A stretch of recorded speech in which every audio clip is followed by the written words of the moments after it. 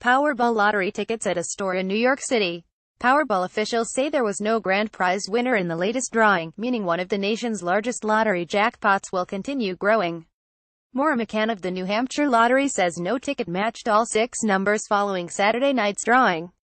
The winning numbers are 17, 19, 39, 43, 68 and Powerball 13.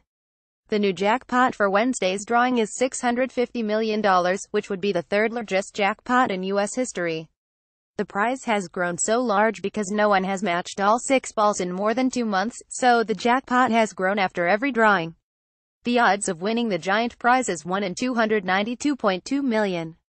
Powerball is played in 44 states as well as Washington, D.C., Puerto Rico and the U.S. Virgin Islands.